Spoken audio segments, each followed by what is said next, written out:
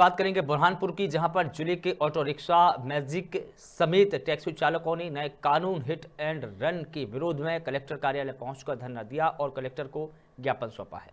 इस दौरान चालकों ने कहा कि सरकार द्वारा लाए जा रहे नए कानून से चालकों पर असर होगा। ड्राइवरों की मांग है कि कानून में बदलाव किया जाए। वहीं शहर के ऑटो रिक्शा मैजिक समेत टैक्सी चालकों ने भी हड़ताल को समर्थन दिया।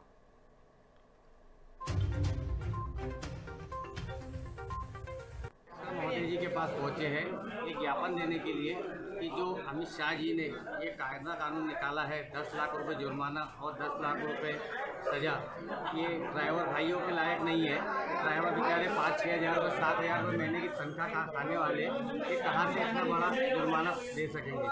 और उसके बाद में भी ये हम लाए हैं आपके पास में कि भाई हमारी समस्या का निराकरण करें कलेक्टर महोदय से ये आशा करते हैं। समस्या का निराकरण नहीं हुआ तो आगे क्या करेंगे आगे भी हम हड़ताल करेंगे और हमारी हड़ताल जारी रहेगी और हम कलेक्टर महोदय से ये निवेदन करना चाहते हैं कि जल्द से जल्द इस चीज़ का